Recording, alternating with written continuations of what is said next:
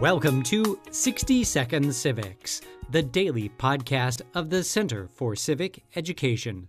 I'm Mark Gage. Over the next few episodes, we will explore the evolution of British constitutional government, especially as it relates to the American colonies and American constitutionalism.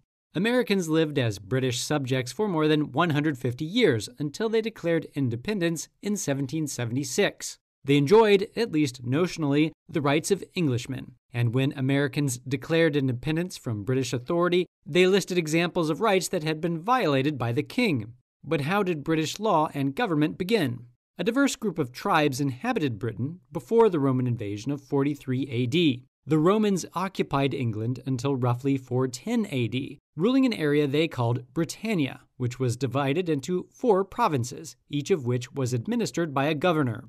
During this period, Rome ruled through military force, but some English aristocracy and later most of Britannia had Roman citizenship. This only amounted to half the island, however.